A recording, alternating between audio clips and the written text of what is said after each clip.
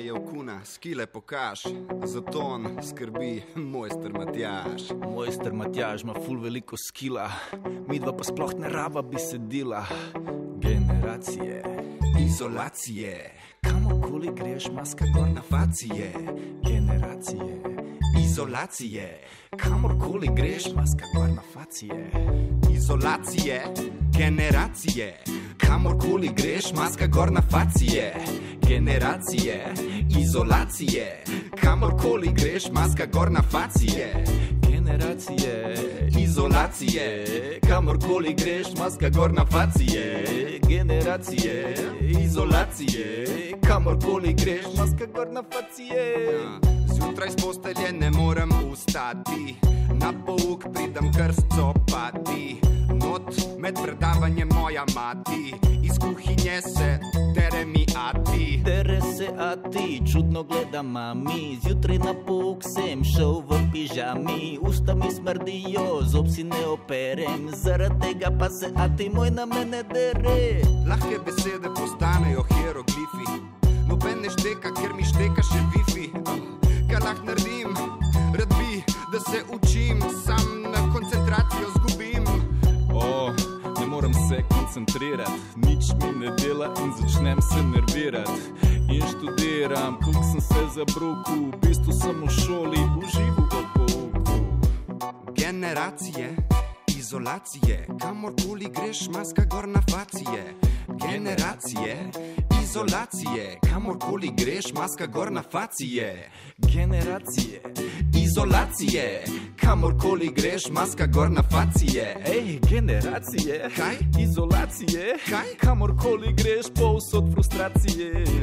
Na okoli so samo opaske, gledam braze, v bistvu gledam maske. Veš, da se mi podaljšal je čas, sploh ne vem, kako gled zgleda človeški obraz. E, lasi ne umivam, ker pa se ne da mi. Predavanja poslušam popoldne v pižami. Nimam več votline za njo, nisem nadarjen. Lahko bi se reklo, da sem malo zanemarjen. Dan se mi vleče kot harmonika, preko zuma na skrivaj folk plonka. A, se veste, da se to da, čeprav me gleda več kot ena kamera. Če nimaš rutine in niti discipline, potem se ti vmes res hitro lahko urine in tesnoba in to v čisto vsako uro. O moj bog, kako težko je ohranjati strukturo. Ni isto. Ta samota je hujša. Zaradi te samote pač kriviš jo na šolo. Генерација изолација камор коли греш, маска гор на фације. Генерација изолација камор коли греш, маска гор на фације. Генерација кај изолација кај камор коли греш, маска гор на фације. Генерација кај изолација камор коли греш, маска гор на фације. Маска. Maska. M, m, Mas- m, m, m, m, m, maska. Mislim, meni osebno je bila najslabša stvar, ki si poslušal po recimo, ne vem, 24 ur ali kaj tasga. In so rekli, kakšne take, da ja, sej, da šolanje nadaljavo pa poteka vse gladko in vse, ampak mislim, gladko že poteka.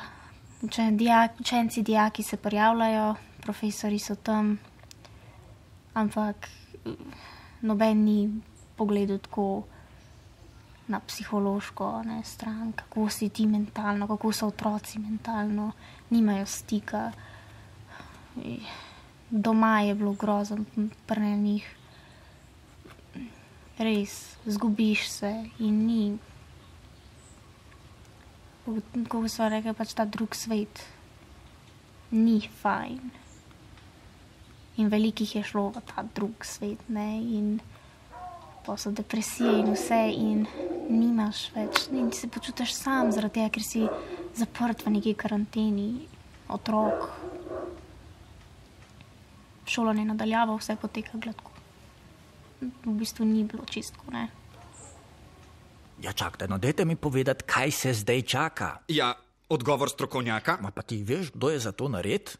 Ja, ja, doktor Dan podjet. A ja, čak za njega sem že slišal, pa to mu pa je gre dobro od rok. O moj bog, Ja, on je antropolog.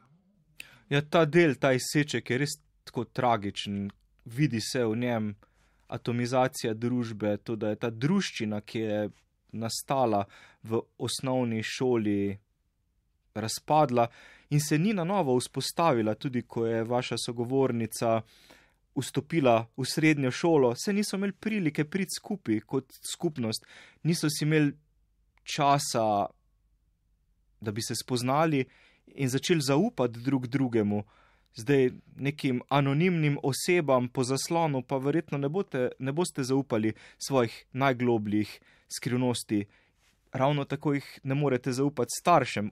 Obstajajo skrivnosti, ki jih lahko zaupate edino vrstnikom in se o tem pogovorite z njimi. In jaz mislim, da je tudi zato bilo med mladimi zelo veliko travm, frustracij, tudi depresije in spet, mislim, če se nam še kadarkoli zgodi kaj takega, moramo res vnaprej razmišljati, kako pomagati mladim v taki situaciji. Vsaj lani so bili res v dobršni meri spregledani.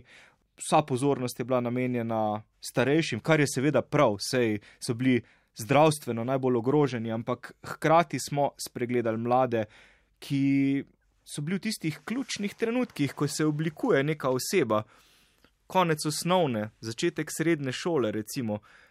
To je tisti čas, eh, ko postopoma odraščaš, ko postaješ najstnik, ko se zaljubljaš, ko dobiš prijatelje. Kaj bo z vsemi temi prijateljstvi in ljubeznimi, ki bi se lahko vzpostavljali, pa se niso? Kako lahko to nadoknadiš? Kako lahko nadoknadiš zamujeno valeto ali pa zamujen maturanski ples? To je samo enkrat v življenju in nikoli več, in nekateri te izkušnje ne bodo imeli nikoli pa ne samo neki posamezniki, celotna generacija je to izkušnjo zamudila. In kaj takega pač se že zelo, zelo dolgo v naši družbi ni zgodilo. Ej, pa, zakaj se je tebi zadnjič strgal, ko si šel na Snapchat? Man, I, I simply snapped, man. You snapped? yeah, man. I got clapped in the face.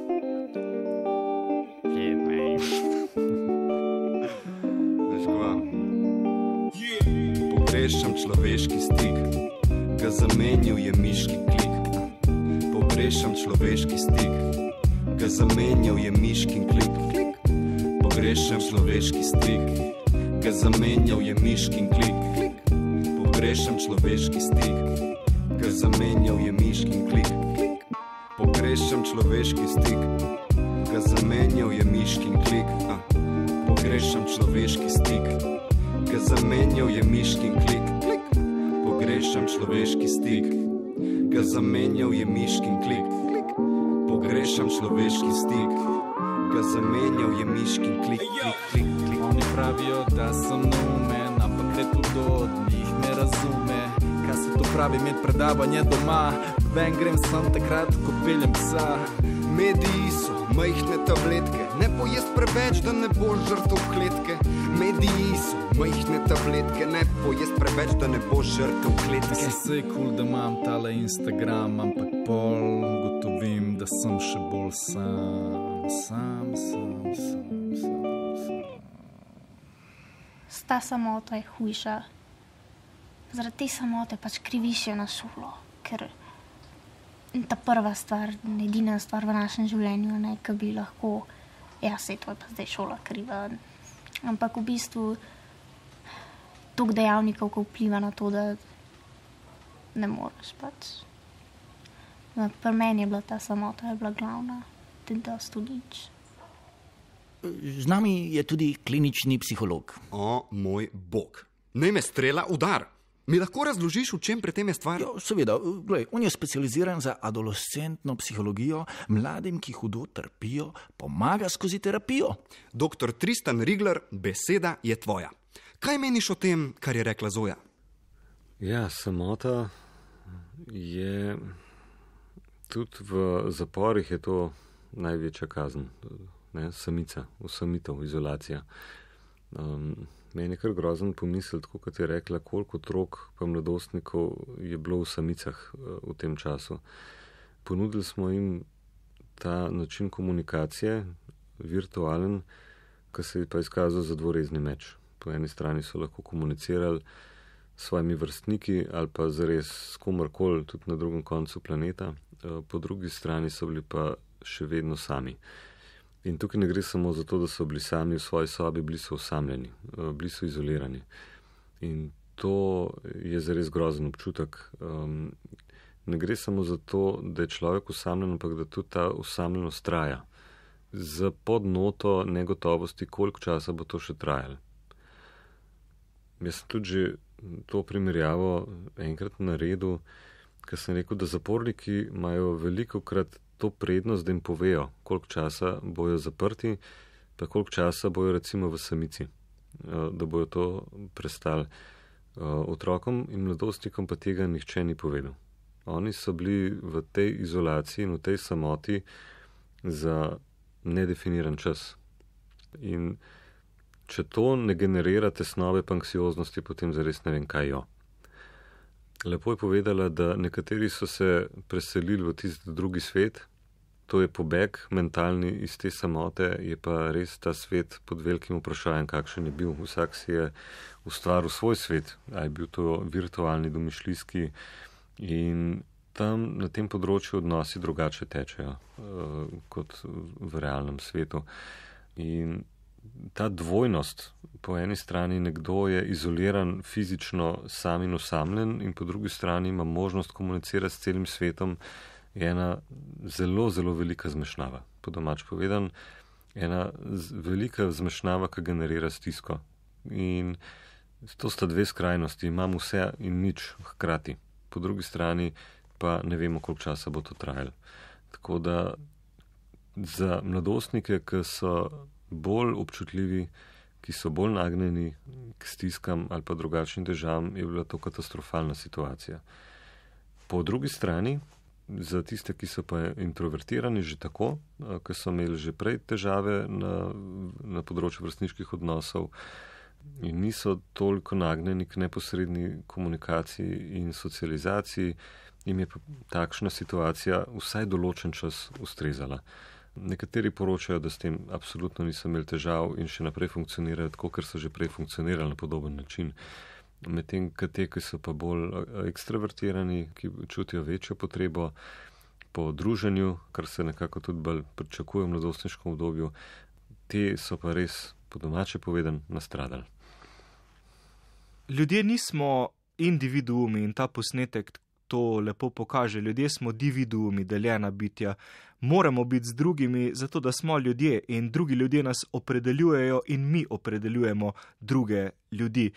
In če smo sami, če smo izolirani, če nismo v neposrednem stiku z ljudmi, se začnemo počutiti slabo. In zato samota ubija, zato um, je v bistvu najhujši zapor, če ste sami sabo, zato dajo zapornike v samice, da tam trpijo sami sabo. Ne? Že če imaš neko družbo, pa v najbolj kritični situaciji je bolje, kot če si v precej dobri situaciji sam. Pa povrtajmo po spominih. Čak, da je že to bilo? Lani? Ne, meni se je pa predlani.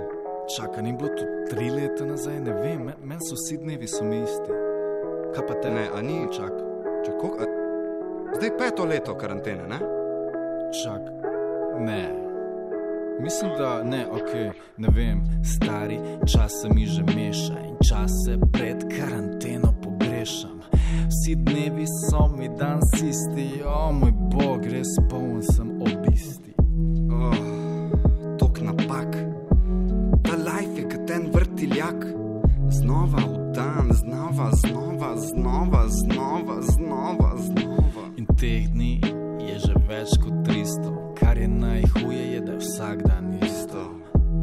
Je vse hitro minilo, ampak vsem tem času se pa nič ni spremenilo. Čas res hitro teče, a obenem se tako vleče. Čas res hitro teče, a obenem se tako vleče. Čas res hitro teče, a obenem se tako vleče. Čas res hitro teče, vleče, za sabo imam vreče, ki jih vlečem s sabo in mi res potuje slabo, ker bi rabo zamenjavo trenutnega stanja. Jaz si sem želim imeti ven iz stanovanja. To za nas nov svet je, čas karantene pomeni novo štetje. Pozabljam na izobrazbo, medtem ko doživljam preobrazbo. Ja, res doživljam preobrazbo, realnost, ker menja se stalno neki novi odloki, ne vemo pa, kdaj bomo hengel spet pred bloki. Ja, pandemija, zakaj? Rad bi šel v prihodnost nazaj. Takrat bo bilo lepo in ne vem, rad odprl bi tretje oko. Za moje pojme čas sploh več ne obstaja, zaradi tega, ker se nič ne dogaja. In vse tako hitro mineva, Čas res hitro teče, a obenem se tako vleče. Čas res hitro teče, a obenem se tako vleče. Čas res hitro teče, a obenem se tako vleče. Čas res hitro teče, a obenem se tako vleče. Vleče se vleče in name meče senco, moja čustva mi meče na potenco, ker vase sem zaprt in ne morem se odpirati. In ko začnemo o tem študirati, me začne sem še bolj psihirati. Neki se dere v moji glavi in tuli, moj sedež me not uri žuli, moj edini prijatelj je kuli. O, srbi me malo luli. Ej.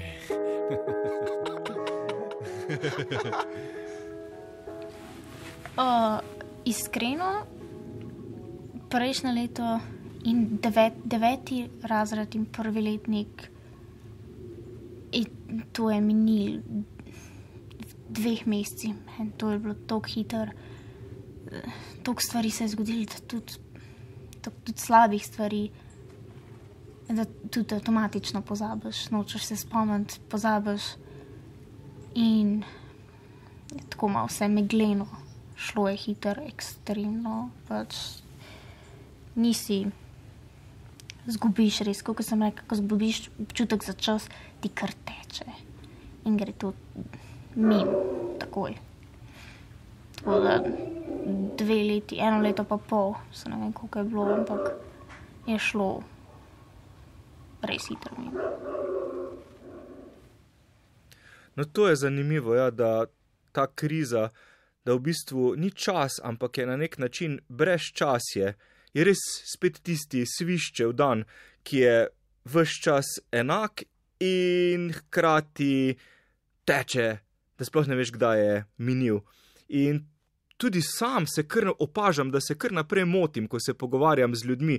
Rečem, da se je nekaj zgodilo lani, pa se je v bistvu zgodilo letos. Nimam čisto jasne slike, eh, kdaj je bilo ok. In se mi zdi, da je vse to, kar se je zgodilo od marca leta 2020 do danes, pravzaprav isto leto, ali pa kar en tak dolg dan, neskončen dan, ki se je prepletel med sabo, ko so dnevi kar potekali in se po eni strani vlekli, po drugi strani pa tako hiteli, da sploh ne vem, kdaj so minili. In bomo v tej krizi nekako mogoče začeli dejansko novo štetje, da bo zdaj začel čas teči drugače. Vsekakor se je svet bistveno v tem času spremenil in ne vem, še ali na bolje ali na slabše, ampak neka preobrazba se nam vsekakor dogaja. Tudi preobrazba, kako doživljamo čas, kako doživljamo ta vsak dan.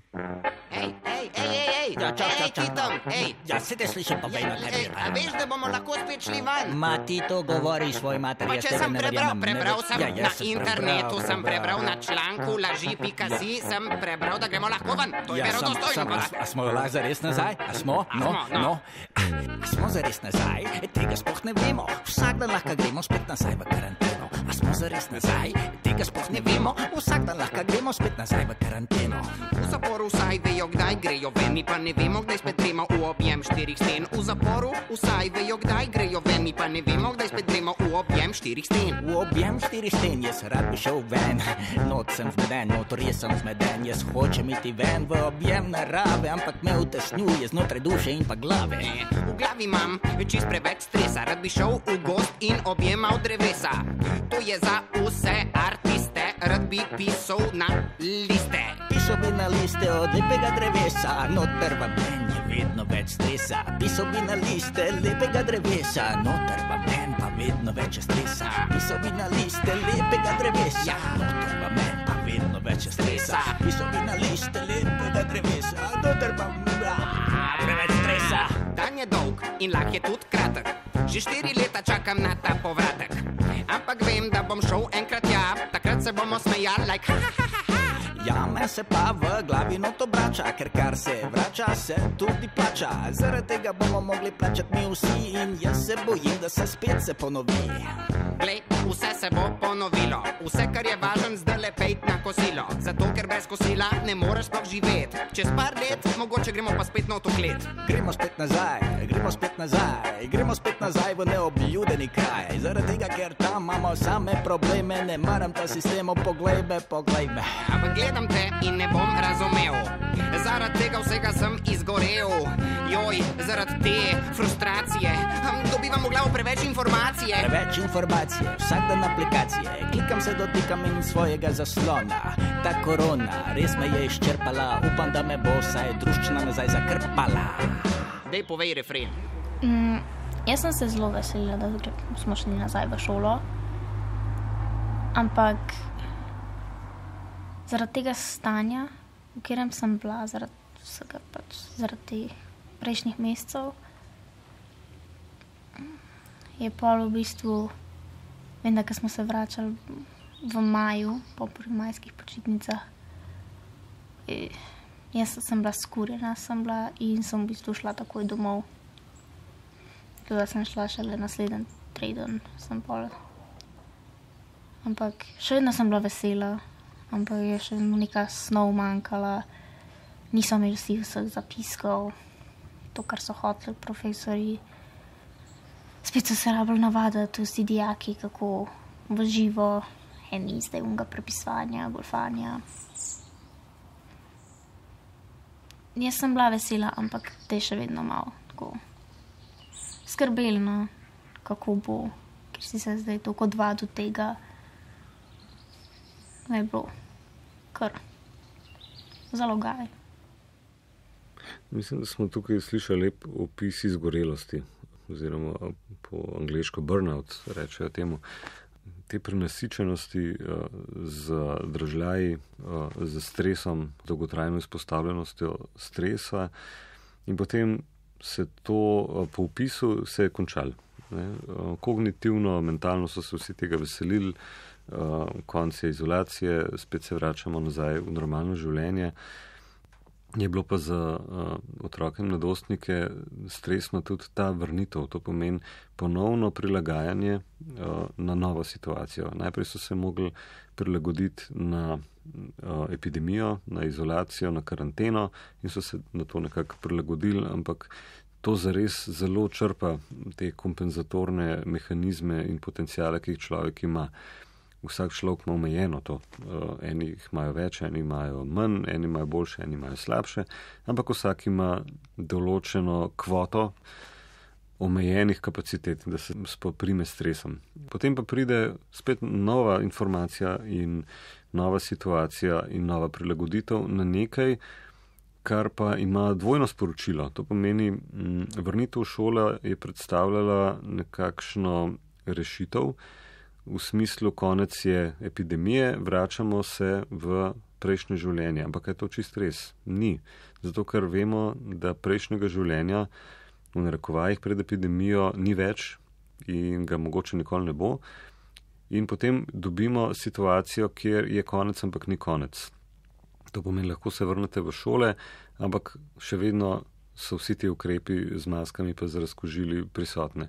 Imamo program B, to pomeni, da kukar se nekdo um, oziroma poteka šolanje, ampak vse čas je pa recimo prisoten rizik, nekdo bo zbolel v razredu, pomeni, vsi gremo spet nazaj, se zapreti v sobe in se vrnemo nazaj. Ta scenarij je, če si predstavljamo, da morajo mladostniki tako funkcionirati, je kar grozljiv. To pomeni, da spet ta negotovost. Um, dali smo vas nazaj v nekaj, kar bi morala biti normalnost, ampak ni, po drugi strani pa obstaja v vsakem trenutku ponovna nevarnost, da vas vrnemo nazaj, zdaj delam na rekovaje v tisti zapor, v tisto samico. To pomeni, da to ni rešitev. In to je tista tesnoba in tisti strah, s katero živijo mladostniki. Sploh, če govorimo o mladostnikih, ki so imeli slabo izkušnjo z vsem tem zaprtjem in s to karanteno, je to nevarnost, ki preži nad njimi vse čas. Po drugi strani je pa tudi vse čas vprašanje, kaj lahko mladostnik sam naredi, to pomeni, kaj naj naredim, da se bom temu izognil.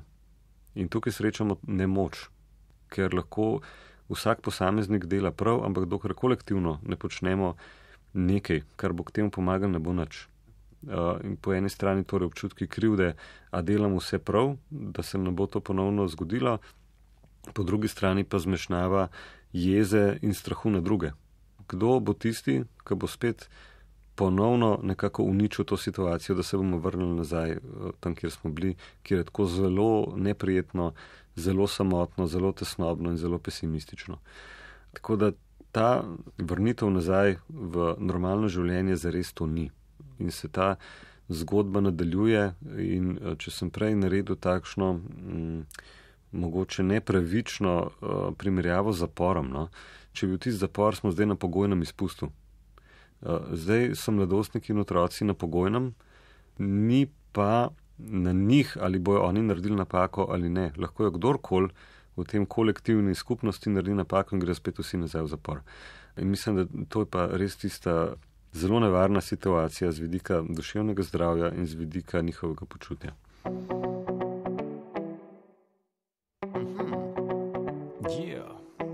Generacije, izolacije, kamorkoli greš, maska gor na facije. Generacije, izolacije, kamorkoli greš, maska gor na facije. Izolacije, generacije, kamorkoli greš, maska gor na facije. Generacije, izolacije, kamorkoli greš, maska gor na facije. Generacije, izolacije, kamorkoli greš, maska gor na facije. Generacije, izolacije, kamorkoli greš, maska gor na facije. Generacije, izolacije, kamorkoli greš, maska gor na facije. Generacije, izolacije, kamorkoli greš, maska gor na facije. Slišali ste tretji del dokumentarne radijske igre Samota. Generacije izolacije, kamorkoli greš, maska gor na facije. Nastopali so superjunakinja, dijakinja Zoja, Antropolog dr. Dan Podjet psiholog dr. Kristjan Musek Lešnik. in tudi klinični psiholog dr. Tristan Rigler. Za glasbo sta poskrbela Rimo Klepača, improvizatorja, čak, kam bi naj še dolg, to smo mi dva. midva sva Um in Kuna Freestyle Show. Tonski mojster, mojster tona, vse ga poznaš, to je Miklič Matjaš. In uh, da smo vse skupaj zmogli, je poskrbela režiserka Špela Krafogel. Posneto v studiu Radio Slovenija in na terenu v letu 2022. Ostanite dobro, pa bodite fest.